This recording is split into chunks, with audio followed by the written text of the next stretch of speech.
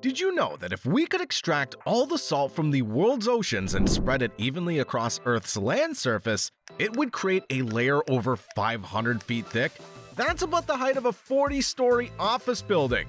Now, imagine that colossal amount of salt dissolved in our oceans. Where does this mind boggling amount of salt even come from?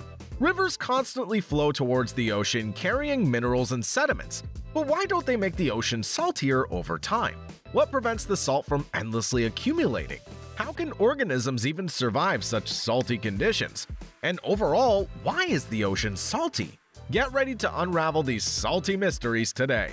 But before we dive in, please give this video a like. It helps to make videos like this possible. Let's get started. So, why is the ocean salty? To understand this, we need to go on a journey. A journey that starts with a single raindrop. Imagine a raindrop falling from the sky. As it forms and descends, it absorbs carbon dioxide from the air. This creates a weak acid called carbonic acid. It's actually the same stuff that gives fizzy drinks their bite, but in rainwater, it's much, much weaker.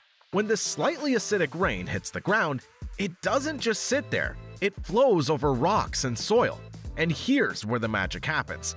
The acid in the rainwater slowly erodes the rocks, breaking them down and releasing tiny amounts of minerals and salts. These minerals and salts hitch a ride with the rainwater as it flows into streams and rivers.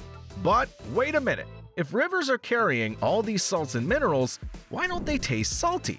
The answer lies in the constant flow of fresh water. Rivers and streams are continually replenished by rainfall and melting snow. This constant influx of fresh water keeps the concentration of dissolved minerals relatively low. It's like constantly adding fresh water to a glass of salt water. Eventually, you'll dilute it so much that you can't taste the salt anymore.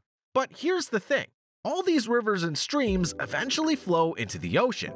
And unlike rivers, the ocean doesn't have an outlet. It's like a giant bathtub with no drain. The water can leave through evaporation, but the salts and minerals are left behind.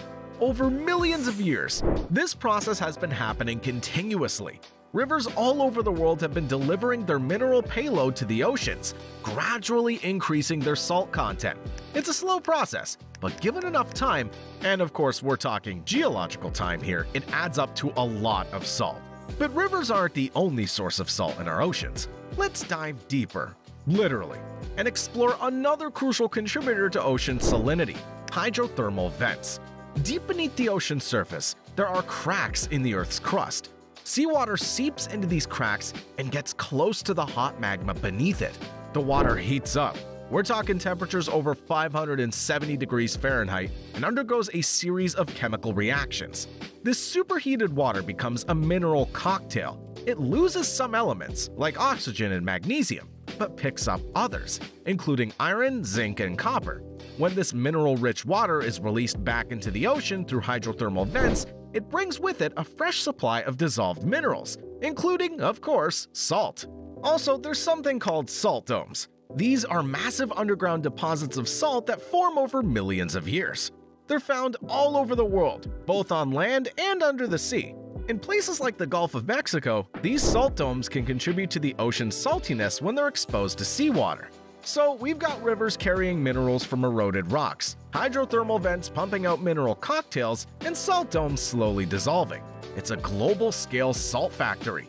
Now, things got even more interesting, because not all of the minerals that end up in the ocean stay there. Some are removed by biological processes. Marine organisms use certain minerals to build their shells or skeletons. When these organisms die, their remains often sink to the ocean floor, effectively removing those minerals from the water. However, two ions in particular tend to stick around sodium and chloride.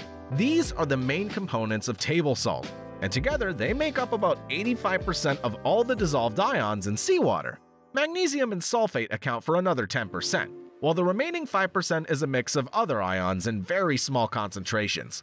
But if I said that rivers have been carrying salt to the oceans for millions of years, and there are all these other sources adding salt too, why isn't the ocean getting saltier and saltier? Well, it turns out that the ocean's saltiness is in a delicate balance. When seawater evaporates in shallow lagoons or arms of the sea, it can form evaporite deposits. These are essentially dried up seabed areas where the salt's been left behind. Over geological time, these deposits can become buried, effectively removing that salt from the ocean. Also, and this might surprise you, the saltiness of the ocean isn't uniform. It varies from place to place and even from season to season. Generally, the ocean is less salty near the equator and the poles, and saltier in the mid-latitudes. Why? Well, near the equator, there's a lot of rainfall, which dilutes the surface water. In polar regions, melting ice adds fresh water to the ocean. But in the mid-latitudes, evaporation often exceeds precipitation, leaving behind saltier water. Many marine organisms have adapted to live in this salty environment. Some can even use the difference in salt concentration between their bodies and the surrounding water to their advantage, like salmon using it to sense their way back to their spawning grounds.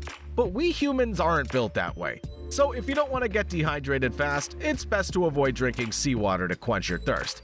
Anyway, what you can do is show off a bit the next time someone asks, Hey, do you know why the ocean's water's salty? If you enjoyed this video, don't forget to like and subscribe for more explorations. See you in the next video.